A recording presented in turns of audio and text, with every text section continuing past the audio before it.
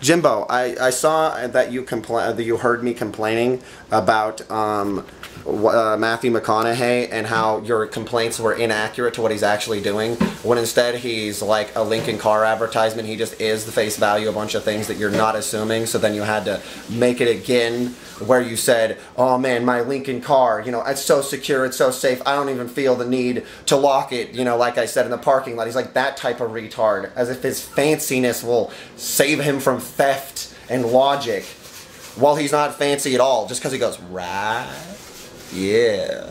So, uh, you know, him being an idiot and having like talked about like like like his actual thoughts of course you wouldn't actually hear them. That's why he had to play them because it was my whole conversation. Like you already knew. Uh it's the whole he doesn't even know what world he's in yet he's still being an asshole. That's why you are wrong jim carrey.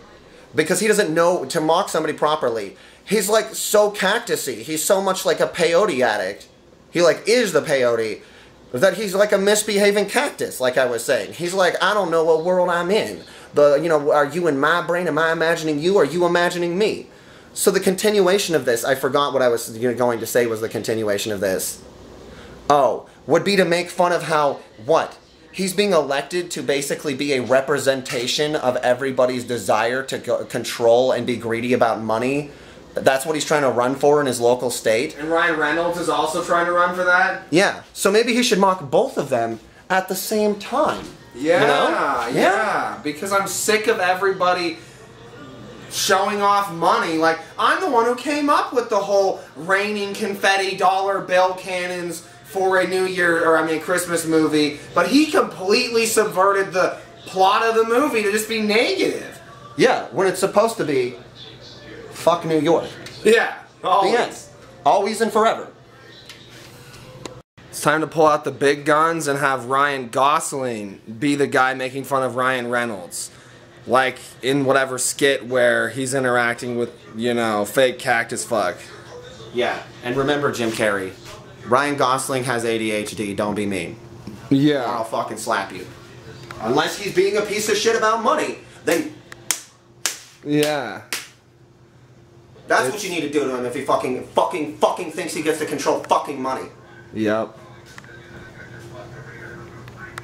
I always tell people it's a representation of things, and uh, they like that concept of controlling it all through pieces of paper, but then they don't actually want to think through that it's made out of special hemp set up by George Yeah, Washington. Matthew McConaughey is basically just go wildcats in a costume Yeah. for the concept of governors that take the blow f- of every bit of uh, greed of all the populace Yes. for fucking me over and not giving me money. So Fuck as the Matthew system gets supposedly better as we make headway with actual activities for humanity to do through our movies, then immediately they try to switch as though yes, instead of being elected for actually different areas because there's less people because of coronavirus in areas, then now you're being elected to be the bad for everyone else, like communist like cheating, you know, like dial up Wi-Fi's connection or some bullshit. I don't think so. Like, stop. Stop pretending politics is important so you can be more and Villainous. villainous. Yes. That's about all that I can say. I can turn this off.